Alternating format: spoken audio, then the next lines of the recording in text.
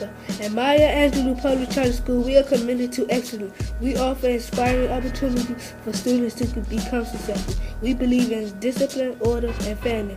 Our middle school fosters a culture that is conducive for nurturing development of the teenage child. Although our surrounding community is often filled with despair, Maya offers a light of hope.